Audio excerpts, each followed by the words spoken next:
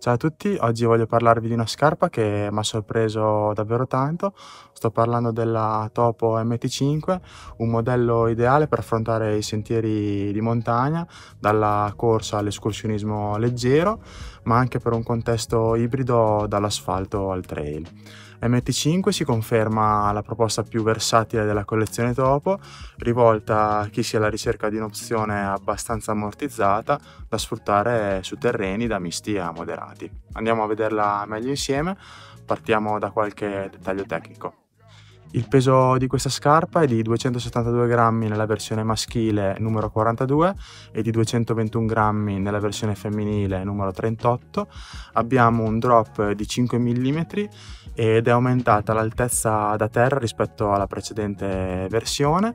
Abbiamo 29 mm sul tallone e 24 mm sull'avampiede, più accessibile, confortevole e protettiva, soprattutto per i trail runner che sono ai primi approcci con i drop bassi.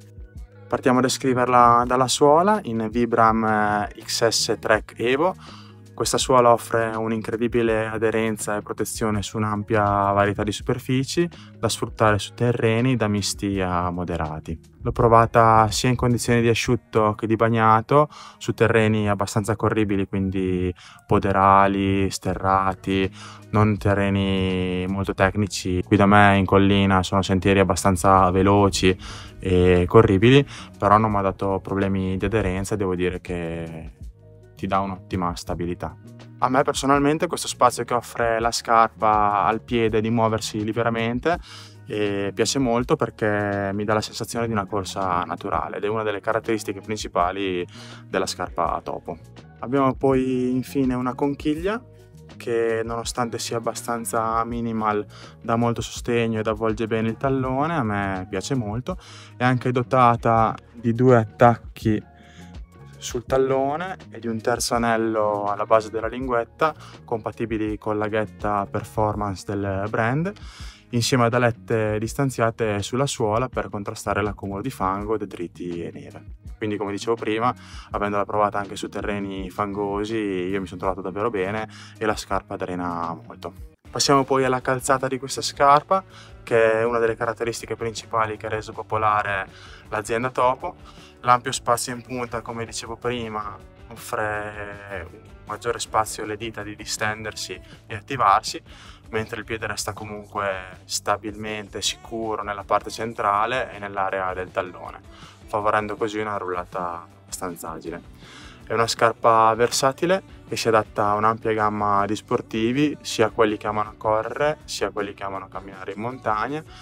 Gli atleti di peso medio, addirittura pesante, più di 75 kg più o meno, potranno sfruttare al meglio le prestazioni della scarpa è stata progettata per correre a ritmi medi o addirittura lenti e su qualsiasi tipo di distanza, da quelle brevi a quelle lunghe, essendo secondo me la distanza media quella che meglio si adatta alle sue caratteristiche, 35-50 km. È una scarpa inoltre con un drop relativamente basso, come dicevo prima, 5 mm, quindi Consiglio questa scarpa ai corridori con una buona tecnica di corsa perché se uno corre male rischia davvero di farsi del male.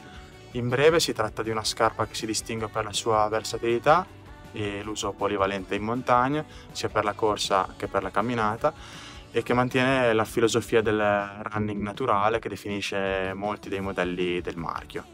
È comunque una scarpa progettata per correre a ritmi medio lenti, quando prova ad aumentare la velocità si tende a fare fatica a mantenere certi ritmi, ma per allenamenti a bassa intensità secondo me rimane un'ottima alternativa e la utilizzerò sicuramente. Questa scarpa secondo me è ideale per correre su terreni misti tra sterrati, poderali o comunque non troppo tecnici. Non troppo tecnici perché eh, il piede, avendo molto spazio all'interno della scarpa di muoversi, mh, mm, si rischia di non avere un appoggio così preciso, quindi anche per quello eviterei terreni di vera montagna. Il grip è ottimo anche su fango, la scarpa come dicevo prima sento che scarica bene, ha un'ottima tenuta anche quando piove. La consiglio quindi sia persone che si affacciano per la prima volta al mondo del trail running, che hanno comunque una buona tecnica di corsa perché il drop è comunque basso, sia runner esperti che mettono al primo posto la comodità e il comfort nella corsa. Spero che il video vi sia stato utile, se non l'avete ancora fatto mettete un like ed iscrivetevi al canale, ciao a tutti e buone corse!